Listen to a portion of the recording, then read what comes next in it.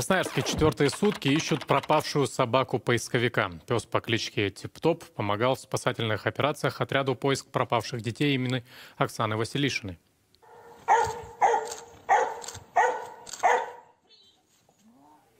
Как рассказала хозяйка животного, тип-топ пропал вечером 2 августа в районе железнодорожной станции Красноярск-Восточный. Пес решил погнать бездомную дворняжку, вернулся к хозяйке, пошел в кусты и пропал. Тип-топа искали до ночи и весь следующий день. Подключились и в спасательном отряде. Ориентировку на собаку разместили в социальных сетях. Сейчас пса ищут не только в Красноярске, но в Березовке и в Зыково. Волонтеры говорят, пятилетний бордер-колли тип-топ уже 4 года помогает в поисках людей в лесных массивах и заброшенных зданиях. Приметы пса – коричневый окрас с белой грудью.